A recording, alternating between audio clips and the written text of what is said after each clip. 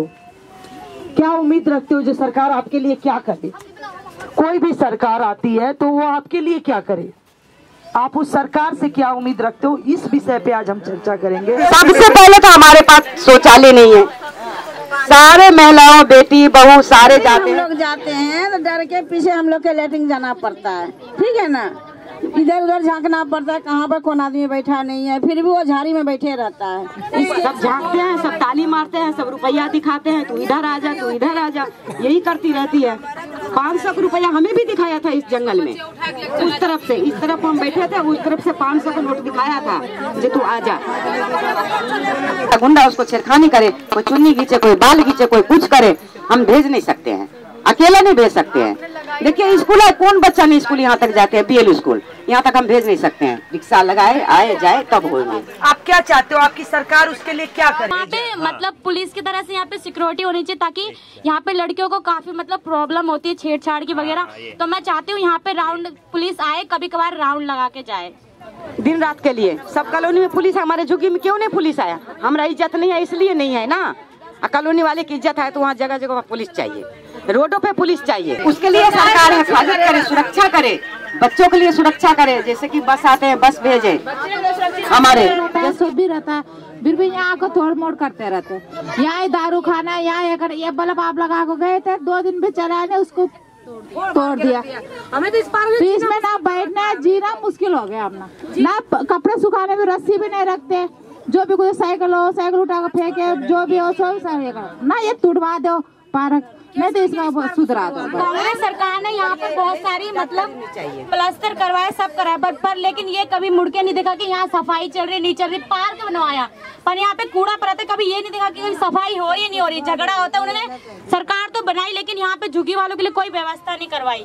बिजली का बिल बढ़ाया महँगाई बढ़ाई कुछ सुविधा नहीं करी। जब से लेकिन आम आदमी पार्टी ने सपोर्ट किया यहाँ पे झुग्गियों की आर्थिक व्यवस्था थोड़ी अच्छी हुई है विकास होने लगा यहाँ की टोटियाँ नाले सब बनने लगी है। सो स्वास्थ्य के मुद्दे पे आप क्या चाहते हो? आपके कैसा हॉस्पिटल चाहते हो? आप कैसा इलाज जहाँ आपके परिवार में कोई यहाँ पे है। यहाँ पे गंदगी का अधिकतर बीमारियाँ होती हैं। यहाँ पे जो गर्भवती महिलाएँ हैं वो हॉस्पिटल जाती हैं लेकिन अगर कोई व्यवस्था नहीं है तो उसका साथ हम आस पड़ोस वाले देते हैं। यहाँ पे कोई व्यवस्था नहीं है क्योंकि हॉस्पिटल जो है यहाँ से बहुत दूर दूर है।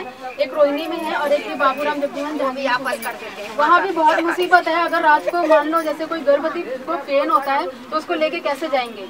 किसी के पास रिक्शा का सुविधा है किसी के पास नहीं है तो इसके लिए हमें बहुत मुसीबत होता है। इसके लिए आप सरकार से हमारी विनती है कि कोई हमें स्वास्थ्य केंद्र आसपास बना के दे या हमारे लिए ऐसा मतलब कुछ करे कि हमको इतना मुसीबत ना हो। दूसरी बात मेरी ये है, हम, हमारे जो इधर की औरतें हैं, इस लाइन की सारी उनको नहाने धोने का बहुत मुसीबत है। हमारे बेटियाँ सब बड़ी बड़ी हो रही है और हम चार बजे उठ के सुबह टूटी पे नहाती हैं। उसकी वजह से हम लोग बीमार पड़ते हैं।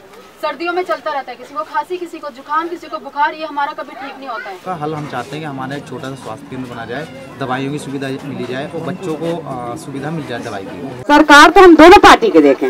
वादा तो बड़ी बड़ी करती है लेकिन पूरा तो कोई नहीं करते हैं। सिवाय अब की बार झाड़ू बनाया चाहे उनचास दिन में ही सरकार चलाए लेकिन कुछ करके दिखाए। लेकिन कांग्रेस बीजेपी तो कुछ नहीं करे। तो और आगे आप क्या चाहते हो? आपकी सरकार आपके लिए क्या करे? क्या क्या सुविधा आपके पास नहीं है? बैटरी के रिक्शा बंद कर रखे हैं। तो कैसे गरीब लोग गुजारा काटेंगे? ये बताओ। किसी का बंद नहीं चल रहा है। और सरकार से हमारी बच्चे विनती है खड़े कि ये हैं। रिक्शा जो चल रहे हैं ई रिक्शा इनको चालू करवाया जाए क्योंकि हम उसी पर निर्भर हैं। हम लोग के पास कोई काम धाम नहीं है हमारे बच्चे उसी ई रिक्शे से ही पलते हैं और जो किराए से चलाते हैं उनको भी मुसीबत हो रहा है तो सरकार से विनती है कि ई रिक्शा आंगनबाड़ी खाली नाम का है कि आंगनबाड़ी चल रहा है। ठीक है ना बच्चे सारे रोड पे जाते हैं मंदिर में जाते हैं। क्यों आंगनबाड़ी का नियम नहीं है कि बच्चों को घींच के लाके बैठाया जाए? हाँ? बैठाया जाए कि नहीं बैठाया जाए लेकिन बैठाता नहीं है ठीक आप लोगों को जानकारी नहीं इस चीज़ की अपनी झुग्गी में पाँच सेंटर है वही तो। और सेंटर में आंगनबाड़ी कोई अच्छी से अपना वर्क नहीं करता वो तो खाना भी आते हैं गंदे खाना गंदे वो बच्चे खिला यहाँ के तक देख लीजिए हर आंगनबाड़ी का कहना है कि बच्चे को अच्छा खाना पढ़ाई लिखाई उसको देने का किसी भी बच्चे को पढ़ाई लिखाई नहीं ना खाना स्वादिष्ट मिलता है ना कुछ मिलता है आंगनबाड़ी अपने तरीके से आंगनबाड़ी के लोग चलाते हैं हैं और एक ही रूम में दो दो आंगनबाड़ी चल रही है आप डंके की चोट पे कह सकते हो, जो हमारी विधायक ने पाँच महीने में इतना काम किया है।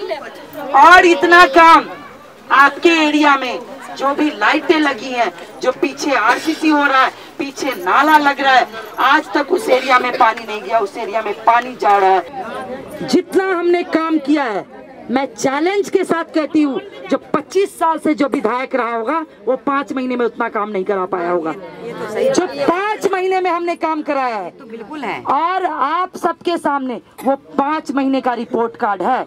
उस पाँच महीने के आधार पे आगे पाँच साल का मौका देना होगा। हमें अपने आपको अपने आपकी सेवा करने का मौका पाँच साल देना होगा साथियों। देंगे तो इसके- हम देंगे।